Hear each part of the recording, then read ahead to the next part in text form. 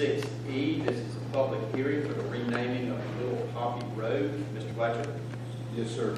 Um, County staff has received a request to rename Little Poppy Road, which is a part of the, it's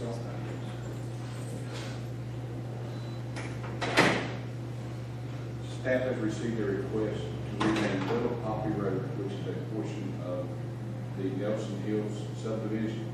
This is the far north road. There are no address points that come off of Little Poppy Road. So really the only person that this affects is the developer. Uh, and the developer has requested that this road be renamed to Nelson Hills Board. This has been advertised and this, uh, be ready for a public hearing on. Any questions for Mr. Fletcher? To hearing none, we'll move on to